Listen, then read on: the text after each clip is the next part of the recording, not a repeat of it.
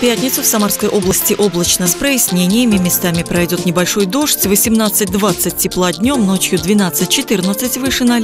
Ветер западный, скорость 4-6, порывы до 12 метров в секунду. В Сызрани облака, осадки в виде дождя. Днем плюс 19, ночью плюс 12 градусов. Западный, скорость 4 метра в секунду. В Тольятти облачно небольшой дождь, днем плюс 18, ночью плюс 14, западный ветер 5 метров в секунду. Самаре малооблачно, небольшой дождь, плюс 18 в дневное время, ночью плюс 13. Западный ветер 4 метра в секунду, атмосферное давление 744 миллиметра ртутного столба. Влажность воздуха 53%, температура воды в реке Волга 16 градусов, геомагнитное поле слабо возмущенное.